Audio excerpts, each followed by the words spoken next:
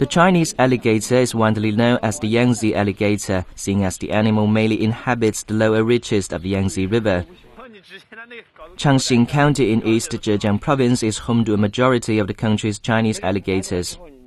A nature reserve was set up in the county over 30 years ago with the mission of protecting the extremely rare species.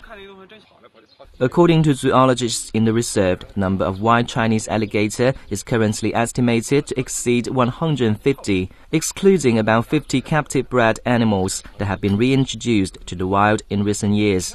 The number of those living in captivity have also risen from 11 in 1979 to more than 3,900 in late 2012.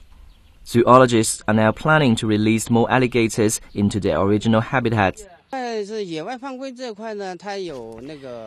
When we release the captive bred alligators into the wild, we will attach a positioning device to each one of them. It can track where they go and how they reproduce. The Chinese alligator could once be found throughout eastern China. However, his wild habitat has reduced significantly due to human activity, especially as land has been dominated by agriculture development. In the past few years, China has been active in converting farmland to forests, which is a move believed to have helped increase the alligator's population.